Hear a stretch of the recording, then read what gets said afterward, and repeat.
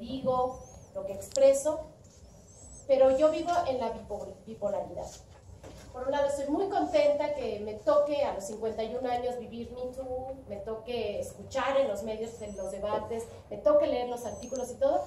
Y por el otro lado, ver que los que me rodean, muy cercanos a mí, están en el siglo XVI. Gracias. Sí, Gracias. Gracias, Elsa. Eh, eh, efectivamente, mencionaste un punto fundamental en esta construcción y en esta deconstrucción del género, los medios de comunicación.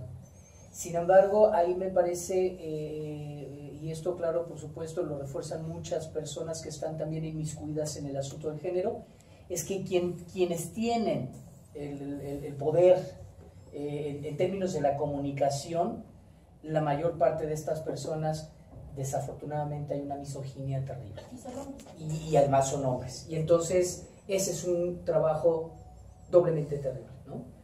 Este, híjole, vamos a continuar. Este, si